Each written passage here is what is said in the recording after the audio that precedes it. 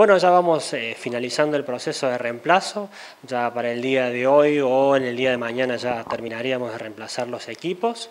Eh, ahora lo que estamos haciendo es eh, una ecualización en algunas zonas del pueblo para que la señal que tuvimos que ampliarla un poquito en frecuencia se pueda reproducir correctamente en todos los lugares de la villa. ¿Terminaron de reemplazar los equipos o todavía continúan? Restan, restan 30 equipos para colocar, para decodificadores en los domicilios que se, está, se llama los socios para coordinar la visita, así que calculamos que en, los próximos días ya terminamos. Por otro lado hay un equipo que está realizando algunos ajustes cuando en cada domicilio particular se presenta algún inconveniente. Así es, una de las, una de las cuadrillas está en las líneas troncales, eh, haciendo los ajustes en la línea, eh, justamente para que el, haber ampliado eh, la cantidad de canales pueda propagarse de la mejor forma. ¿Ya se pueden ver todas las señales? Sí, las señales ya están saliendo todas. En algunos domicilios nos estamos encontrando con algunos problemas internos, eh, algunos problemas de cables que ya tienen algunos años, conectores que han sufrido problemas de humedad o problemas eh, de, de, corrosión, entonces ciertas frecuencias se ven afectadas. ¿Esos casos se van revisando? Esos casos se van revisando, eh, justamente ahora cuando terminemos de hacer el, reemplazo de los equipos, eh, salimos eh, fuertemente a la parte interna de los domicilios y a la parte de las líneas como ya lo venimos haciendo. ¿Qué pasa con las señales deportivas o algunas de las señales deportivas?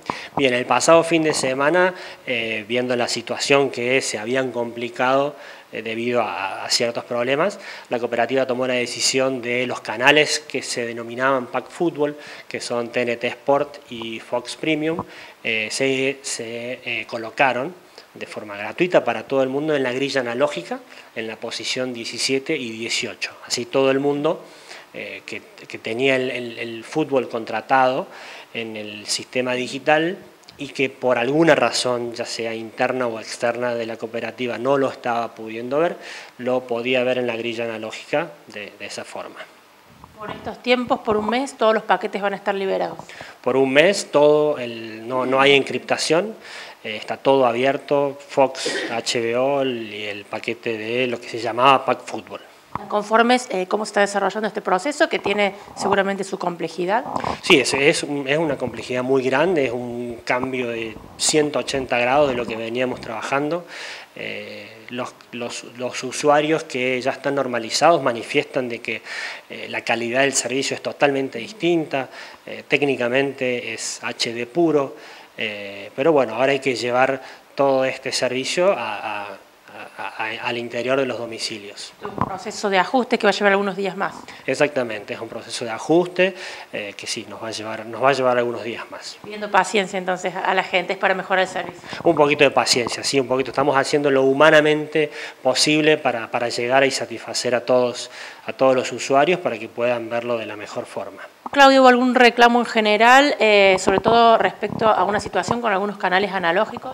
Sí, se sucedió que desde el proveedor de Discovery, Channel, eh, se nos dio de baja eh, por un error tres canales, Discovery Channel, Animal Planet y Investigación Discovery, por un error de que nos habían ya autorizado los equipos para la cabecera analógica, perdón, para la digital, nos dieron de baja los equipos analógicos.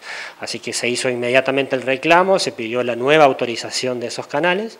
Eso estuvo más o menos eh, un día y medio que aparecía la leyenda de que eh, en esos canales, en, los, en el 55, 53 y 64, que no estaban autorizados. Ya hoy a la mañana ya están autorizados nuevamente.